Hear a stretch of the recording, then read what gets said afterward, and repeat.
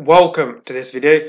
My name is Phil and I am a senior lecturer in astrophysics at the University of Lincoln and in this video I wanted to go through the derivation for orbital velocity when the orbit is actually circular. So it's not quite the same if it's an elliptical orbit but in this video we're going to have a look at how we get that orbital velocity if the orbit is circular. Now for a circular orbit it will be constant that orbital velocity does not change during the orbit. It will be going the same velocity all the way around. It just obviously changes direction. And in this setup here, your orbital velocity is perpendicular to the gravitational acceleration, which would be towards the larger object. The example I've given here is Earth orbiting the Sun.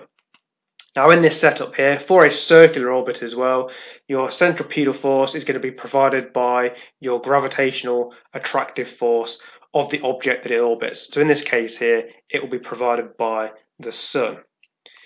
So the centripetal force required for an object to remain on a circular orbit can be given as this below here.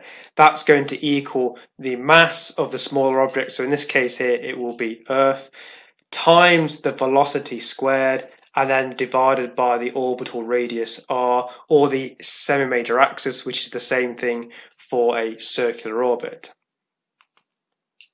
Now we can actually equate that to the gravitational attractive force so we've got the centripetal force which is then equal to the gravitational attractive force down here.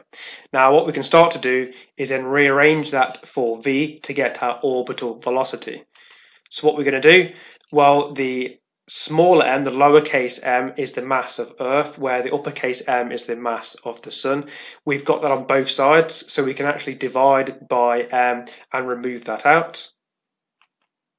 Then what we can do, if we multiply by r, we can remove it from one side on the left hand side, but we can also remove the square on the other side. So it just becomes over r as opposed to over r squared.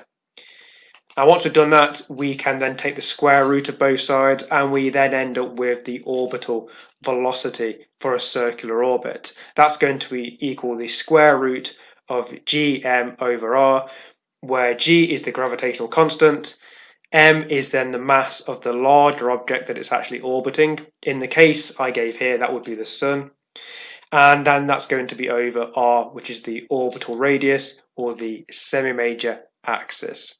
Now, if you know the orbital period and the orbital radius, then you can also get the orbital velocity because you know the actual circumference of the of the circle, which is the top part, the 2 pi r, and you then also would know the orbital period. So it's basically going to be the distance travelled divided by the time. And you can also get the orbital velocity that way. So it depends what information you have of the orbit and the setup really.